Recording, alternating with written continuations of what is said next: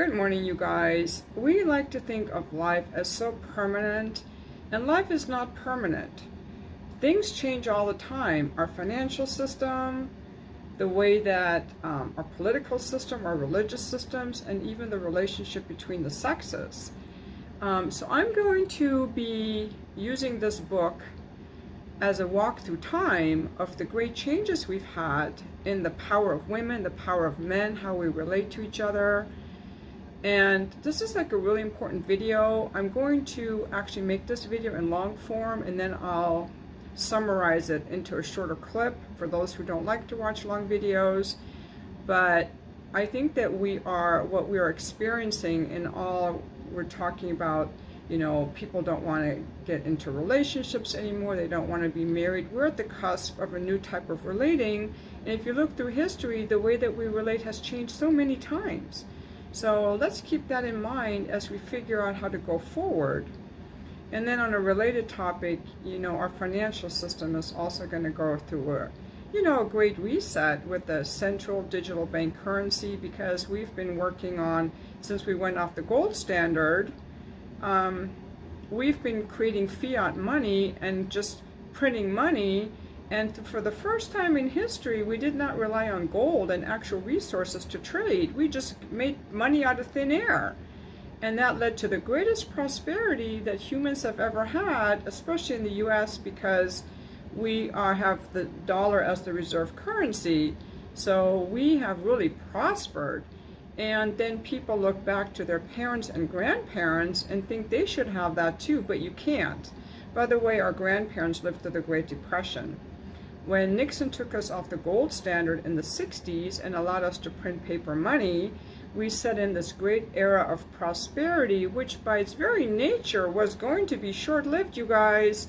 And so I do not trust the stock market. I do not trust the banks just because, not because I'm like fear-based, but because I'm reality-based. Like we are on a shaky foundation with no real, there's nothing backing all this fiat money. So they're just creating more and creating debt. And so people have made money, but it's unsustainable. It's going to come to an end. We don't know when, we don't know how. And so that's why I really like people like Ron Paul and you know, people who are really talking about this. Um, so, but in this video now, and this is just because things change. Empires rise, empires decline. You know, we had the Persian Empire and the Roman Empire and the British Empire and the U.S. Empire. And now we're going to go more maybe to the China and Brick Empire, you know, but these things kind of shift slowly over time and people want to cling to this security of like i own this woman the body count guys. I own this woman or we want to cling to relationships or we want to cling to our houses.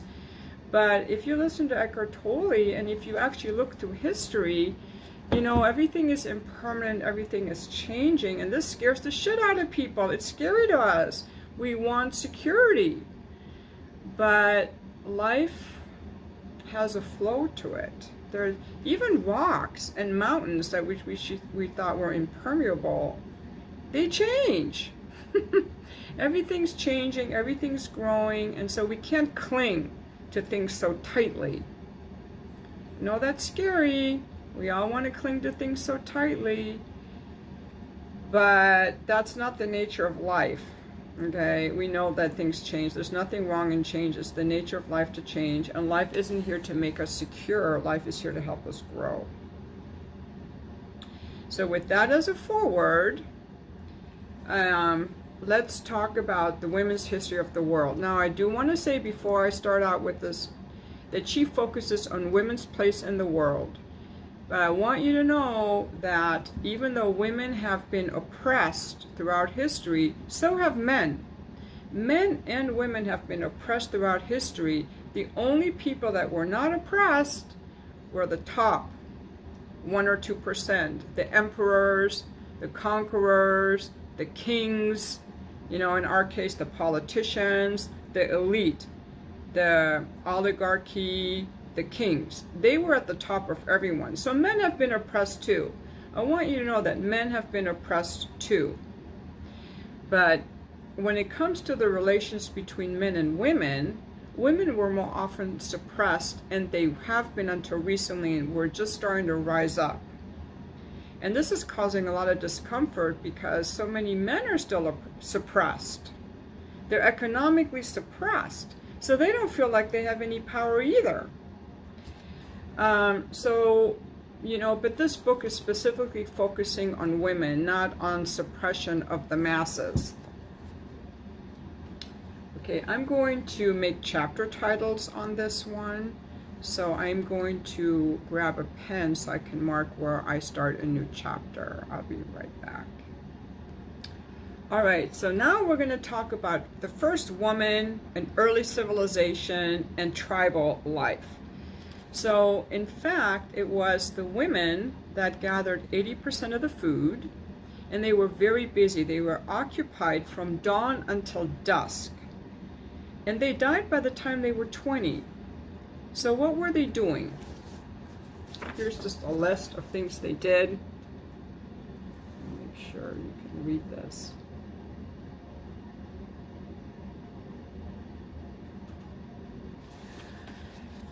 They gathered food, took care of the children, did leather work, they made garments, cooking, pottery, weaving grasses, reeds, and barks for baskets, fashioning beads and ornaments from teeth or bone, construction of shelters, temporary or permanent, tool making for a variety of uses, stone scrapers for skin, sharp stone blades for cutting out animal sinews for garment making, medical application of plants of and herbs for everything from healing to abortion.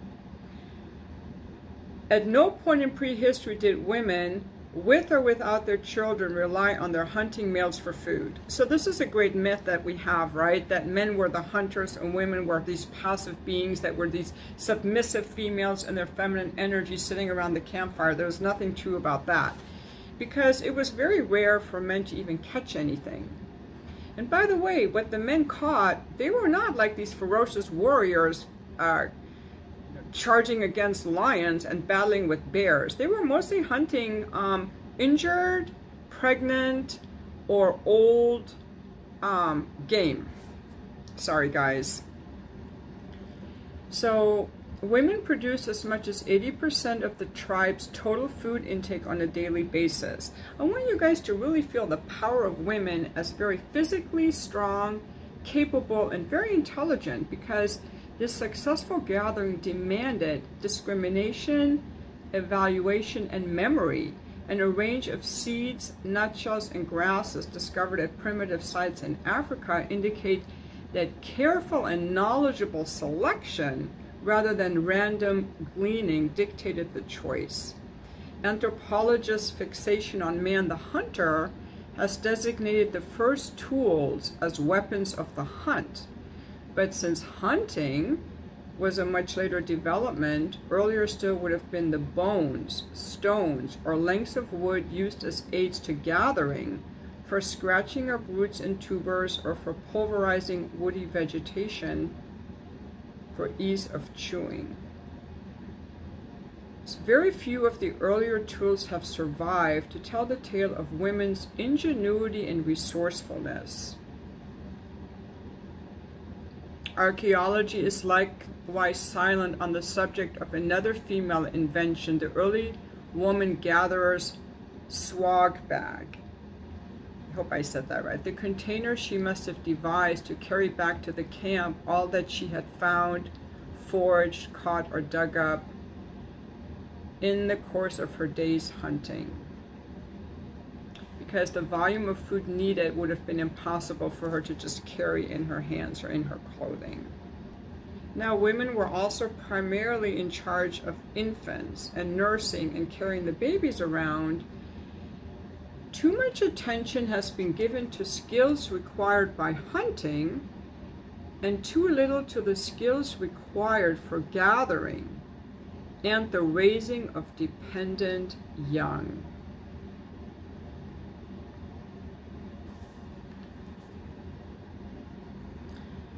Just want to really go a little bit more into this myth of man the hunter supporting all these women because if it wasn't for these women, the race would have died out. It was women that were mostly in charge of the food production and raising the children. The men contributed very little. They contributed very little. They contributed their sperm, and that's about it, guys. Sorry to squash you. Um, I think that we have really minimized the role of women in mothering and food production. So this is where I want you ladies to really get your power, that we were not like these submissive beings cowered around the campfire. We were powerful creators of life and sustenance. We built shelters, we gathered food. I'm just repeating myself. Let's continue. Women's invention of food sharing as part of the extended care of their children must have been at least as important a step toward group cooperation and social organization as the work of man, the hunter and leader running his band. Women's work as mothers of human infants who need a long, growing space for postnatal development also involves them in numerous other aspects of maternal care sheltering, comforting, diverting, in play, and in social activity with other mothers and other young all these are decisively shown by modern psychology to enhance what we call IQ. It must have been of critical value in assisting or branching away from the great apes in mental and conceptual ability. Female parents are not the only ones who can comfort, stimulate, or play, but all these activities are very far removed from the supposed role of hunting, killing, primitive man. Nor does the significance of the mother-child bond end there. In the myth of man the hunter, he invents the family by impregnating his mate and stashing her away in the cave to mind the fire. He creates the basic human social unit, which he then maintains by his hunting and killing. I want to repeat that. Um, you know, the big daddy scenario of um, males to their hunting range and females to their home site, kind of like the guys at the office and the woman is in the home, like it's always been this way, like man is out hunting and woman is cuddled around the campfire, is a myth. The man the hunter myth goes he impregnates his mate and stashes her away in the cave to mind the fire. So he creates the basic human social unit and he maintains this by his hunting and killing.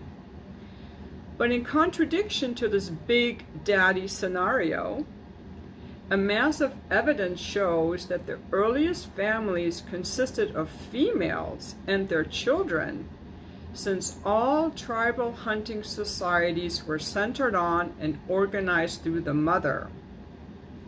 The young males either left or were driven out.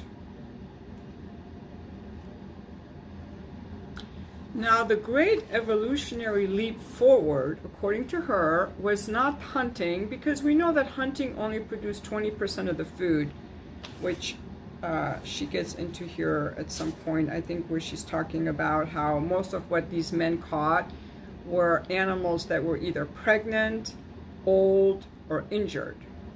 Okay? So the great leap forward was actually menstruation because all the other animals that come into heat can only produce offspring a few times a year. And for example, the great female primates like chimpanzees, gorillas, and orangutans come in heat rarely and produce one infant every five or six years, which puts the species at great risk of extinction. It was actually the, um, the female uh, uh, menstruation was the great evolutionary leap forward because it gave a woman, it gave humans 12 chances of conceiving every year instead of one every five years. So the human female has a reproductive capacity 60 times higher than that of her primate sisters. And again, it's the women's menstruation that was a great leap forward. It wasn't your guys' penises or your guys' sperm. Um, and I'm not trying to put men down. I'm just trying to say that women have been put down and uh, when they shouldn't have been. Okay? So, recent commentators have argued that women's so called curse operated to cure not only man's shortage of offspring, but also his primeval mental darkness. So, again, what history gets wrong is they make it seem like it was hunting and cooking that was the great leap forward, but in fact, it was female menstruation. Instead, generations of male commentators have blinded themselves to the facts and the significant implications of the evolution of early woman. They have insisted instead on rewriting primitive woman as no more than a sexual vehicle for man. All right? And in this, every aspect of her bodily development took place for man's benefit, not her own. In the last of his evolutionary incarnations, man the hunter has now become a sexual athlete and rutting ape, while woman, receptive and responsive for 365 days of the year, awaits his return to display her newfound repertoire of fun tricks with breasts and clitoris, the Pleistocene Playmate of the Month. The notion of man the hunter unpacks to reveal a number of other elements that feed and flatter male fantasies of violence and destruction. Because man's part in the survival of the species was actually more normal and more admirable and more natural. In fact, it, he was essentially cooperative. Early human life was essentially cooperative where hunting was a whole group activity, not a heroic solo, solo adventure. To this day, all members of hunting societies, including women and children, join in hunting and beating activities as a matter of course. In their own right, too, women have long been known to hunt smaller or safer animals. Hunting did not mean fighting. The first humans, as Shakti shows, worked together to avoid having to face and do battle with their prey. They drove animals over cliffs. And they often impaled animals on stakes in a pit, a practice still known worldwide. This method of hunting did not even involve killing, as the animal could be left to die. Most forms of hunting did not, in fact, involve direct aggression, personal combat, or a struggle to the death, but involve preying on slow-moving creatures like turtles, on wounded or sick animals, on females about to give birth, or on carcasses killed and abandoned by other fiercer predators.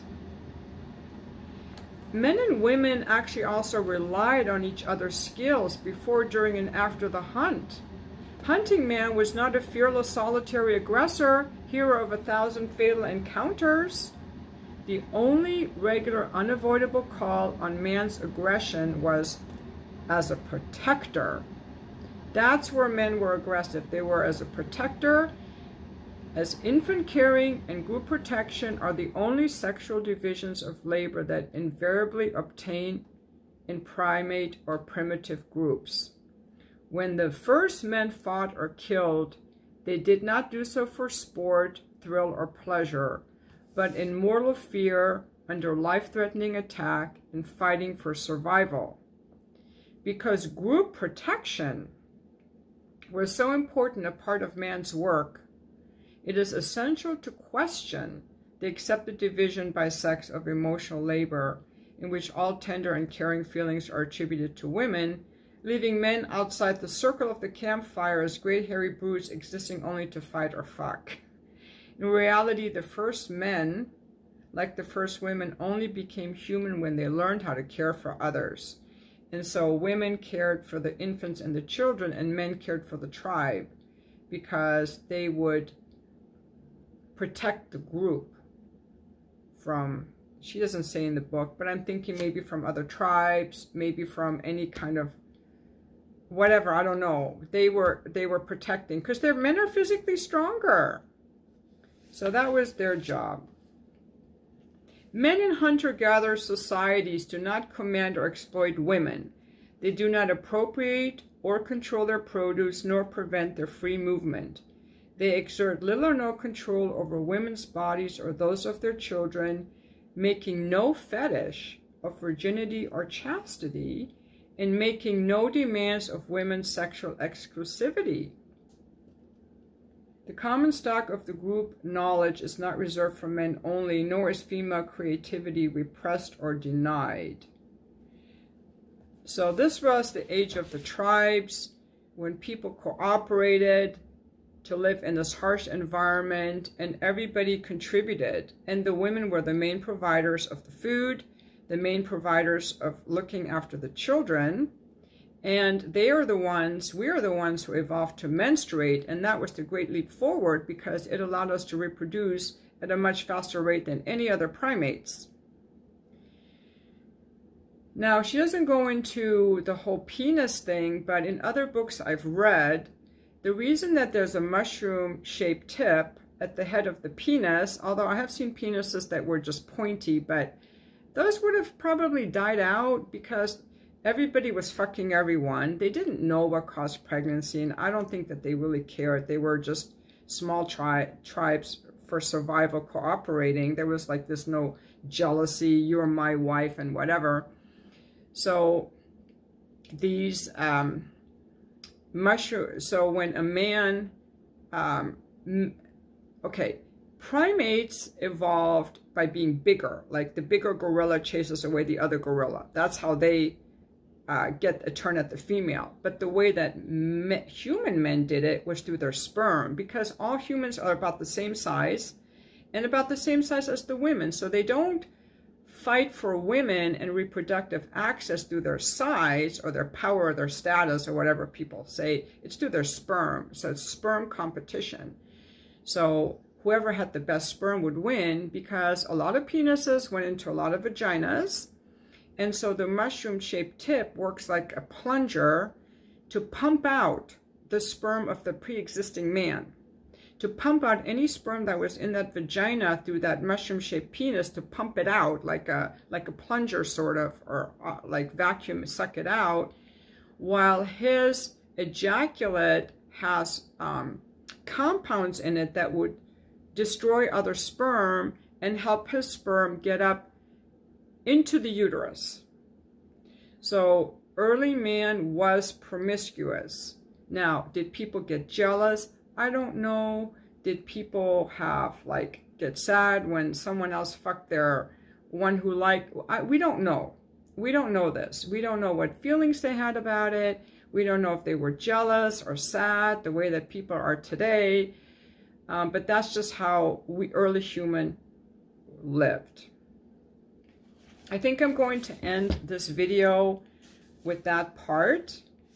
And I'm going to, um, uh, the next video will be about the woman as the goddess. Because what happened is that the woman with her inexplicable moon rhythms and power of creating new life was the most sacred mystery of the tribe.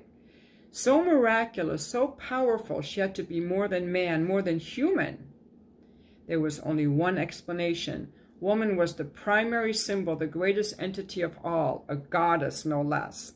And that starts the goddess age, and I'm going to make a separate video for that. So this one is just going to be, I changed my mind, this one is just going to be about first woman and the myth of man the hunter.